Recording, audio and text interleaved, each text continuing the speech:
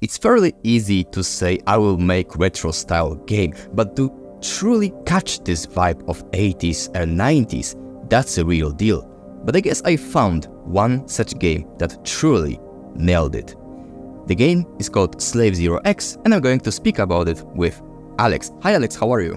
Hey, how's it going? Thanks for having me. Slave Zero X is a game that it, it really looks like something from like some beat 'em up game from arcade machines from 90s and I'm curious how developers achieved that. I mean, they did some huge detailed research or maybe they're just fans of such games so it was natural for them.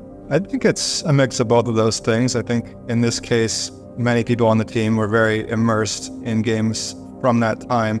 They also had their own kind of imagination of like, what if I could play with these mechanics, but have it feel like those games that made me fall in love with games in the first place. Some of it was a mix of using tools that were actually used in the late 90s and early 2000s, especially. Like most of the levels in the game are built in TrenchBroom, which is still what's used for Quake mods today.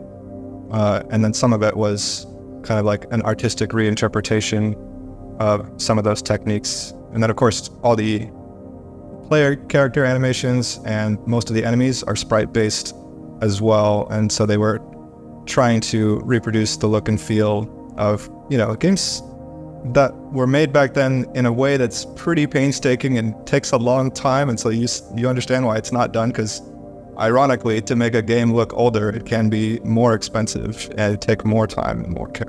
So it's not easy uh, to make a retro style game today. A lot of people think that it's easy, but it's really not.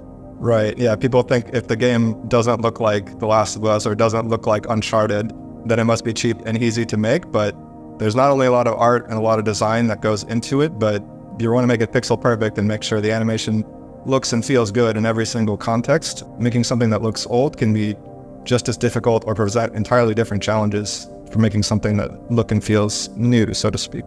Uh, so when we met up with Poppyworks and they had this prototype for a game that they'd always wanted to make that was kind of like a 2D action game, very much influenced by fighting games like Guilty Gear and other anime fighting games, but in a 3D environment. They were looking at our catalog and they felt that Slave Zero, which came out from on Dreamcast 1999, would be a good IP fit.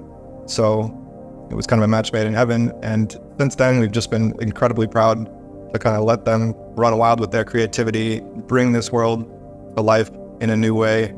And yeah, I think not only action fans and people that want a challenge will be satisfied, but if you like a good story and cool like cyberpunk, biopunk aesthetic, I think you'll enjoy it too. But yeah, right now the demo is available on Steam. Uh, it's also available on Xbox Series X. And we'd encourage you to wishlist it and look out for some big announcements coming very soon.